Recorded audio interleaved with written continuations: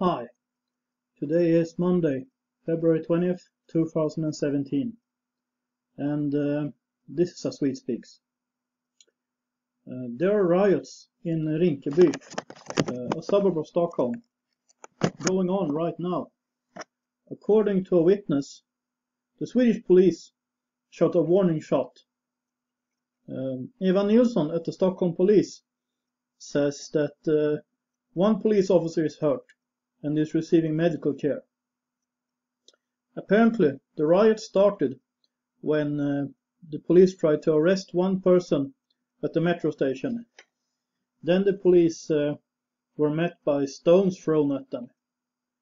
A freelance photographer who is uh, who is there says that the atmosphere is threatening and that the police have retreated waiting for reinforcements.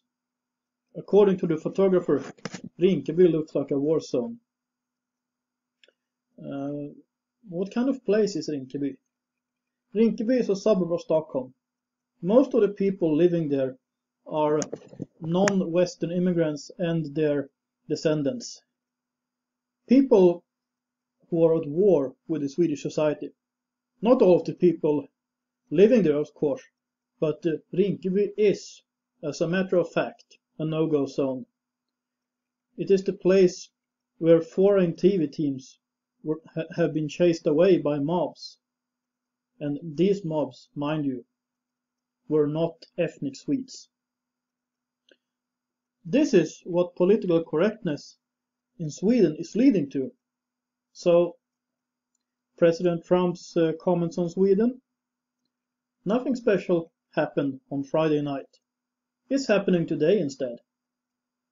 If a riot is special, I mean, there are lots of them in Sweden now. Maybe not one every day, but it's not really special that that either. That's that's the sad part of this. Uh, a friend of mine uh, just wrote in a private conversation that Sweden is ready to burst.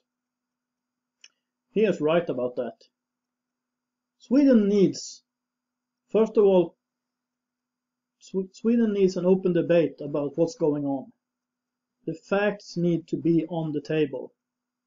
You can't have Swedish media and Swedish politicians denying the situation and then complaining about people getting the information from alternative media. Where else are they supposed to get their information?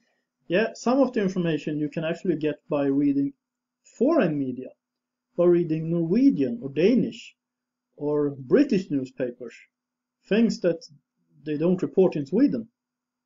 But anyway, Sweden needs an open debate and Sweden needs that debate now and the facts need to be on the table.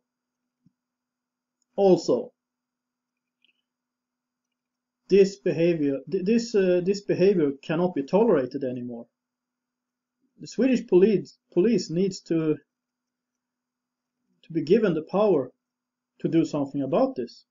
And if they need help, send in the military to t- take care of this. I mean, this can't go on. And uh, if this isn't stopped, what is going to happen? I mean, for instance, there is this uh, thing in Sweden called Code 291. Code 291 means that the police are not to report uh, or are not to comment in media when uh, when migrants are involved in criminal acts.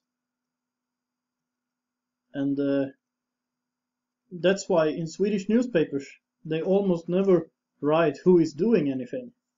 I mean, they can report on crime, but they they won't give you they won't tell you what the criminal looks like because that might be racist. Because if they write that the person has dark skin or looks Ara- or has Arabic features or something, or, or that the person spoke, uh, well, what do I know, Somali, Persian, Arabic, Turkish, whatever. They can't write that because uh, because that's considered racist. How can facts be racist? Facts are facts. I mean, if it's relevant, then I would say that given how Sweden has changed in just one generation, I remember my childhood. Sweden was a safe, a little dull, but safe country. Things like this didn't happen. And uh, I mean, the only immigrant, immigrant crime you had were were, were people fighting in uh, were people fighting to get in in some pub or something. I mean, seriously.